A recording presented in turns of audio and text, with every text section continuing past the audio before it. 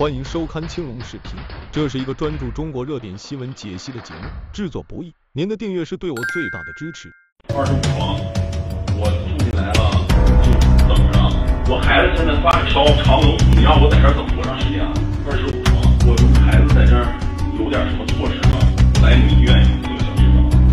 二十五床，你快过来看看，我孩子快不行了，屎都从鼻子里喷出来了。怎么都不哭了呀？啊？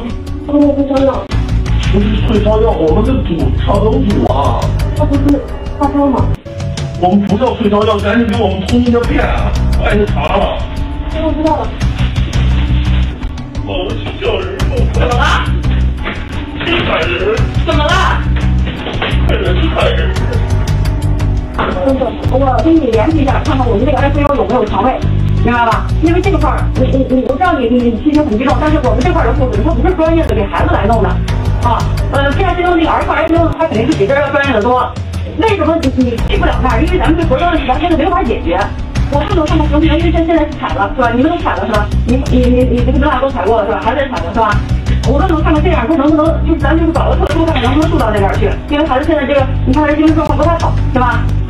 啊，他们的领导给咱们说了，嗯，等 PICU 就是我们说的 ICU 一个去。年的医疗事故上了热搜，看了视频之后，又让我想到了河南郑州那个打幺二零没有得救的那个女生。事情发生在去年五月，国内基本上没有疫情病例的时候，肠梗阻的婴儿送到医院，因为有发热症状被急诊拒收，从而入住方舱医院等核酸结果，父母被告知需等到白班医生上班之后治疗。从凌晨等到早上七点多，婴儿口鼻就开始涌出粪便，出现了休克状态。但是方舱医院却不具备抢救条件，医生以没有核酸报告为由，拒绝将孩子转入儿科重症监护室。等到核酸结果出来之后才转，婴儿经过十九个小时的抢救宣布死亡。以下是婴儿父母的自述：关于我出生三十六天的孩子被河北医科大学第二附属医院漠视生命、延误治疗致死这件事，最终还是走到需要依靠网络力量才能得到公平公正裁决的地步。一年多了，我不得已必须自揭伤疤，为孩子求个公道。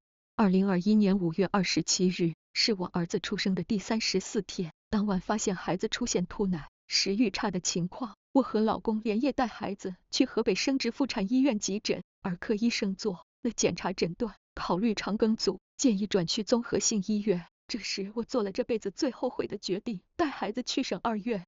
二零二一年五月二十八日凌晨两点多，我们抵达省二院急诊，因孩子伴有发热，急诊拒绝治疗。让到发热门诊，并表示会有儿科医生进行诊治。二点五十分被接诊，医生说孩子发烧，需要入住方舱办理手续。四点十五分进入方舱，医生给出诊断：一、腹胀待查，小肠结肠炎；二、肠梗阻，病情评估，病情平稳，活动自如，无营养不良，生命体征上平稳。这时我以为孩子终于可以得到治疗，腹胀得以缓解，可不幸却刚刚开始。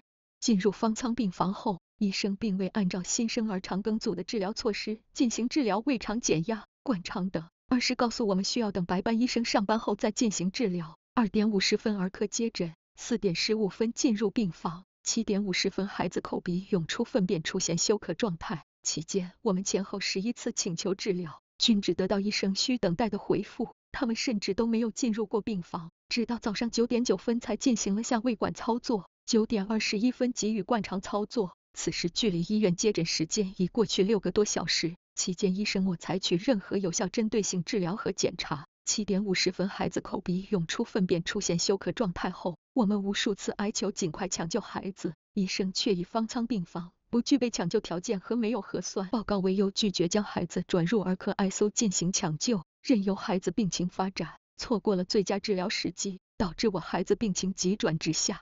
省二院医生严重不负责任，缺乏职业操守，先以白班交班为由，拒绝为孩子提供检查治疗。孩子病情危重后，又以方舱病房不具备抢救条件和无核酸检测报告为由，拒绝为孩子进行抢救。从五月二十八日二点五十分医院接诊到十一点五十一分转入儿科 ICU，转入 ICU 后，当即就下了病危通知，延误治疗抢救长达九个小时，任由病情发展，直接导致我孩子的死亡。死亡原因：肠梗阻、小肠结肠炎引发脓毒症，导致多器官功能衰竭。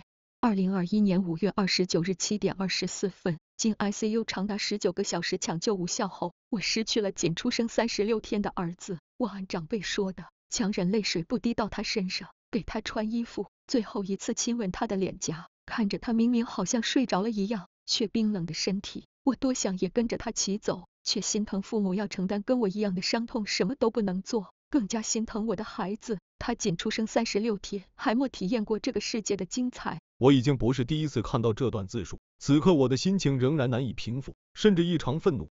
肠梗阻三四分钟就要疼一次，刚出生的小婴儿生生疼了几个小时，他得有多痛苦啊！小宝宝粪便从口鼻涌出，这该是遭了多大的罪？可怜他连话都不会说。视频里面爸爸抱着孩子说：“你怎么都不哭了？”一边哭一边喊人的样子真的好无助。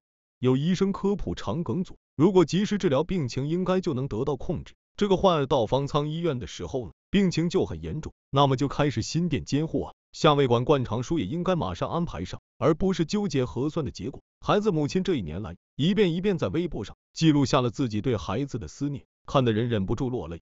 已经是数不清多少次因为核酸耽误病人治疗的了。现在的核酸结果真的是大过天，这个世界上貌似只有新冠才是病，急症不能优先看病，就因为没有核酸结果，这一类的事件还少吗？新的孕妇郎咸平的母亲都是因为没有核酸报告而延误了救治，甚至有孕妇羊水破了，还要等到先做核酸再收治，更别提上海封城期间造成的种种悲剧。这条去年的事故爆出来，我们才知道原来在我们不知道的地方，可能还有很多次这样的悲剧发生。儿科医生进来后表示，已经和院领导沟通好了，已经在安排转入 ICU 等待腾房就行。我们天真的以为医院真的努力抢救我的孩子，直到最后我还在对他说谢谢，可真相是。所谓的腾房不过是糊弄我们的借口，在他们眼里，能决定我儿子生死的也不过就是那份核酸报告罢了。在哪个病历上签字的每一个人都是害死我孩子的凶手。他们丧尽天良的，居然还在病历里写着我们家属拒不配合治疗，害死我的孩子，还要毁掉我们做父母的良知。九点五十分，所有医护人员离开病房，骂我们开始漫长又揪心的等待。医生、护士十点二十三分又进来过一次病房后，再没有人理过我们。我给值班室打电话打不通，给医生打电话打不通。我一次次的跑去值班室问医生什么时候可以去 ICU 救我的孩子，我至今也忘不了医生给我的答复。我已经没干别的，一直盯着你们的事儿了。你还想怎么样？我忘不了他们面对面坐着，一个拿着手机，一个抱着氧气袋，说笑着。在看到我又来了是不耐烦的神情和回复，那一刻，在我的心里，他们穿着白衣，不是天使，而是魔鬼。而这些本该是可以避免的。时至今日，不知道这些血的教训有没有给全国医院敲响警钟，把精力从核酸检测上抽出来，放到真正的看病救人上了。本来这场悲剧已经够让人难受，却不是最让人愤怒的。时隔一年，经历重重困难，二零二二年五月十八日，这对可怜的父母终于盼来石家庄市医学会的医疗事故鉴定会。让没想到的是，鉴定结果虽为一级甲等医疗事故，但省二院却只承担次要责任。对于这个案例，中医院负次要责任的认定。我真的彻底无语，实在不明白这到底是什么意思。家长完全听医院安排，导致耽误抢救，所以是主要责任，是这意思吗？家长太听话了，按流程等待治疗，没有在医院大吵大闹，绝望的等待，最后承担了主要责任，这世界疯了吗？此外，通过法院起诉省二院，他们才知道，原来甚至在医哭抢救的过程中都不符合要求，仅安排一名总家院医师和一名实习医师参与，没有主任级别或高年资的主治医师。直到最后，依然没把孩子的生命当回事。这位母亲的微博还称，医院甚至还篡改了遗嘱病历。事发后，类似事件在全国各地相继爆出，但婴儿父母始终相信，通过司法程序能还孩子一个公道。奈何自己太过天真，看着其他受害者陆续在短时问内解决问题，而他们耗费了一年多的时间，却得到如此不公的结果。目前，该事件在网络上持续发酵，微博、抖音却已经开始删帖降热度。耸人听闻，将他们送入方舱的人也一定知道，婴儿只是发烧，而不是新冠，但是还是要走这个流程，就如同当年纳粹集中营的看守一样，他们看似在执行上级的命令。但实际上就是杀人的凶手。那些武装到全身的大白们，他们在穿上防护衣的时候就已经脱下了人性。